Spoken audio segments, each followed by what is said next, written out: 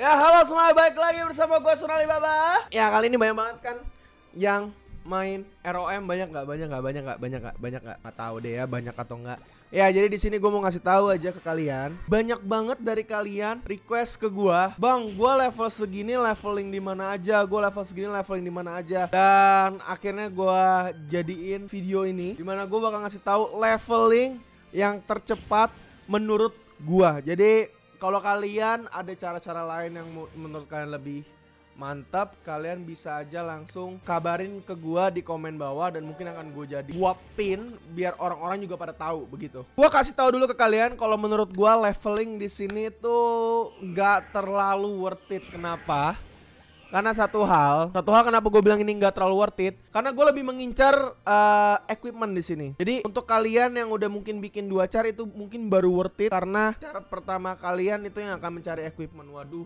geledek, geledek. Ya jadi gue nggak saranin untuk ngejar level karena kalau kalian ngejar level equipment kalian tuh nggak langsung setara nggak nggak nggak ngikutin gitu loh karena weapon di situ harus harus crafting kecuali zeni kalian banyak duit kalian banyak kalian tinggal gesek aja ya ada skill namanya recharge di sini.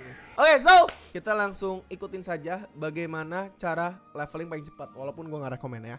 Jadi level 1 sampai level 20-an itu menurut gua kalian ikutin aja quest kalian akan muncul awal-awal menjadi novice tuh di sini. Awal kalian akan muncul di sini. Nah, ini gua ngomong dulu deh. Kalian akan muncul di sini dan kalian akan jalan mengikuti quest saja. Lebih tepatnya quest tanda seru berwarna merah ya. Kalian akan dioper ke Poya lalu dioper ke Alin. Nah, kalian ikutin saja. Mencapai job level 10 atau level 10-an itu kalian akan berubah job ya. Kalian berubah job, kalian akan dioper berubah job untuk ke Frontera berubah job di dalam apa ini, ini ngomongnya apa ya job hall kali ya gue bilangnya di dalam job hall ini kalian tinggal pilih salah satu setelah itu kalian akan mendapatkan quest disuruh pergi ke West Frontera leveling dari misalkan anggap dari level 10 sampai level 20 itu kita ke West Frontera melawan rocker atau yoyo atau willow. Ada tiga, ada tiga momen yang kalian bisa lawan tapi saran gue kalian lebih bagus melawan rocker. Saran gua sih ya sebenarnya ya. Kalian mendingan nge-quest sampai bisa menjadi level 18-an, 15 18-an. Kalian nge-quest. Tapi kalau kalian nggak ada mau nge-quest, kalian bisa langsung melawan ini Momon Yoyo ataupun Momon Rocker mana nih? Rocker. Ini udah udah udah mulai sepi di sini sekarang ya. Setelah kalian mencapai level sekitaran 18 atau 20, kalian pindah. Kalian mulai pindah ke Frontera Utara. Frontera Utara. Jadi di Frontera Utara ini kita mencari uh, momon namanya itu Wormtail. Itu momon dengan EXP terbanyak untuk levelnya dan HP-nya tuh nggak terlalu gede gitu loh. Tujuan gue tuh tadi sebenarnya tuh kasih tahu ke kalian sebenarnya itu West Frontera itu untuk kalian menyelesaikan quest. Tapi kalau untuk kalian mau langsung leveling, kalian bisa langsung aja datang ke North Frontera, eh, pulau pertama, pulau pertama, pulau kedua, pulau ketiga, pulau keempat. Di pulau pertama ini, kalian akan nemuin Wormtail. Kenapa gue suruh kalian bunuh Wormtail? Karena dia HP-nya paling kecil dan base EXP dan base job EXP-nya tuh paling gede untuk ukuran levelnya. Jadi kalian bisa lihat nih, Wormtail level 17 HP-nya cuma 382 Asal kalian sudah menyentuh itu kalian udah bisa one hit. Dengan 220 base EXP dan 148 job EXP Itu lebih gede ketimbang yang lain yang pernah gue tahu nih Bahkan level 21 aja tuh masih 123 base EXP Masih sangat-sangat-sangat kurang Dan ini kalian akan lakukan mencapai sampai apa mencapai level 30-an 32, 35 kalian bisa lakukan di sini. Tapi kalau 30 sudah mau pindah bisa dan kita akan berlanjut langsung pindah ke momon bernama skeleton. Jadi untuk beberapa orang untuk beberapa orang bisa pindah ke skeleton ataupun ke Tara Frog. Nah, kenapa? Kenapa gue anjurin dua ini dulu? Itu karena Tara Frog kalian leveling sekaligus kalian cari kartu. Kartu Tara Frog itu sangat dibutuhkan terutama untuk uh, Knight uh, terus terutama sih untuk job-jobnya Knight ya karena kartu Tara Frog tuh ngurangin damage damage demi human tuh berapa persen gitu gue lupa berapa persen ya. Itu lumayan gede. Dan kalau di skeleton itu karena ngebunuhnya cepet orangnya banyak kalian bisa langsung party up di sana aja gitu. Dan skeleton juga tuh untuk kayak mage bisa one hit dan untuk kayak priest itu juga bisa make kill heal untuk menyerang. Atau holy light strike tuh damage-nya lebih gede jadinya lebih bisa one hit kalau untuk di skeleton gitu. Makanya gue lebih rekomend situ dia spawnnya cepet dan juga darahnya nggak gede jadi kalian bisa langsung ngebunuh ngehemat combat time kalian juga gitu. Dengan saran untuk level 30 ke atas. Atau setidaknya kalian udah bisa one hit dah itu momon. Kalian di skeleton tuh bisa sampai level 40-an menurut gue ada berbagai macam cara kalian mau leveling di mana. Kasih tahu untuk level 40-an ke atas 40 sampai 50-an itu kalian bisa ke Geven kiri. Di Goblin Forest kalian melawan Goblin Goblin.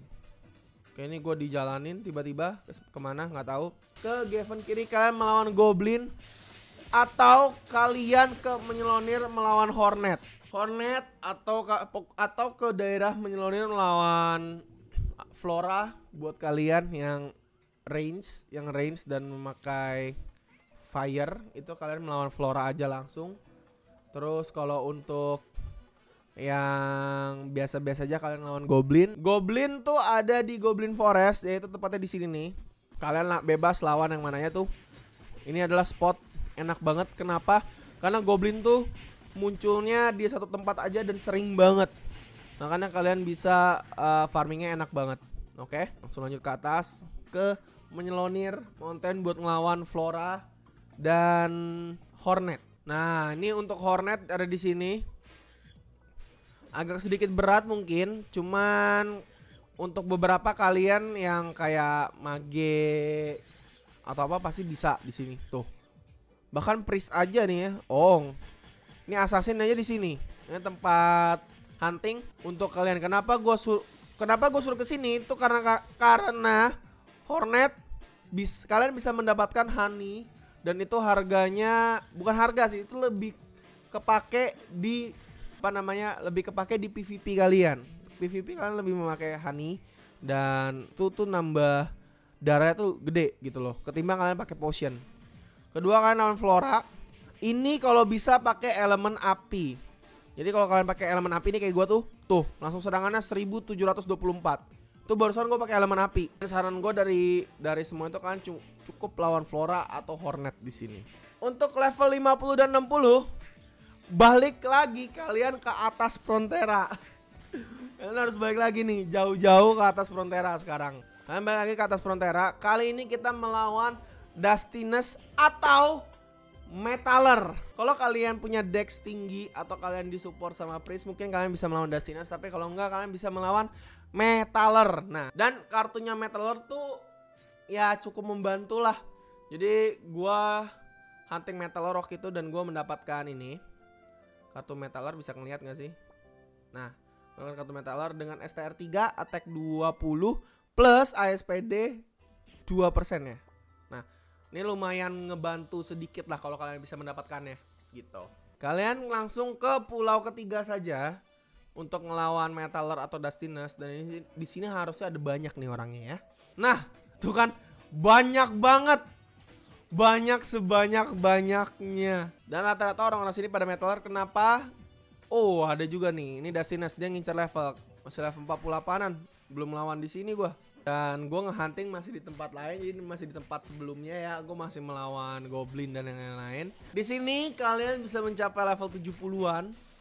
Menurut gua, kalau kalian mau. Nah, ini EXP-nya nih ya, kalau kalian lihat nih ya. EXP untuk metaler dan momen-momen lainnya tuh paling gede bahkan sampai level 9 pun tuh setara sama Metaler gitu loh setara sama kayak Metaler dan Dustiness jadi menurut gue sampai di sini sampai level 70 80-an tuh masih bisa untuk Metaler. Nah, untuk selengkapnya kalian bisa cari aja di RO Guards ini. Ini Metaler nih level 55 dengan 8000 HP. Base EXP 738 dan job EXP tuh 466. Anjir. Lu lihat tuh. Ini cuma bisanya cuma Dustiness doang. Dustiness base EXP-nya gede, gede, job EXP-nya dua-duanya besar. Tapi masalahnya gini, HP-nya tuh gede 12.000 dibandingkan dengan Metaler lah yang 8.000 yang lebih cepat untuk ngebunuhnya. Jadi kalian bisa pilih itu antara dua itu. Kalau gue tetap ngepilih Metaler sih, karena gue juga ngincer kartunya. Dan dibanding sama yang lain nih dengan darah 20 ribu, 17 ribu dan BX EXP yang cuma kecil itu nggak worth it untuk kalian yang lebih mengincar level. Oke, jadi gue gue baru tahu sampai level 70 untuk hunting di mana guys. Dan ya, ini adalah guide kecil-kecilan dari gua di mana kalian bisa mengikuti tapi sebenarnya gue menyarankan untuk tidak mengikuti sama sekali karena sampai sekarang pun level gue tuh ketinggalan sama yang lain. Kenapa gue nggak leveling? Karena gue tuh mengincar barang-barang untuk upgrade upgrade ini nih. Makanya kalian bisa lihat nih scale ini gue ngelawan Andre, Dead Brand Star gue harus ngelawan Willow. Momon-momon yang lebih susah tapi gue bisa mendapatkan barang-barang kayak begini gitu loh. Maksud gue sih tujuan gue sebenarnya itu. Kita balik lagi ke Frontera karena gue harus mendengar lagu. Combat time gue sudah ning. Jadi gue harus mendengar lagu dulu. Oke, sekian dari gue. Uh, semoga guide gua guide kecil gua ini membantu kalian ya menjawab pertanyaan-pertanyaan. Dan buat kalian yang punya spot leveling lain atau apa kalau kalian mau share kalian bisa share aja di komen bawah. Atau mungkin ketika guide-guide dari kalian juga udah banyak gua akan kompil menjadi satu video begitu.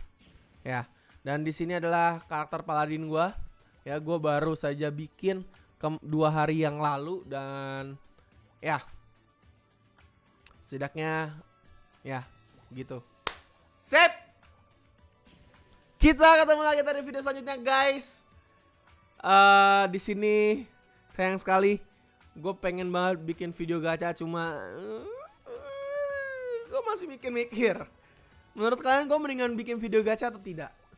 Komen di bawah. Ya, thank you banget udah nonton. Kita ketemu lagi ntar di video selanjutnya and I'll see you guys in the next video. Bye bye semuanya. Bye, -bye.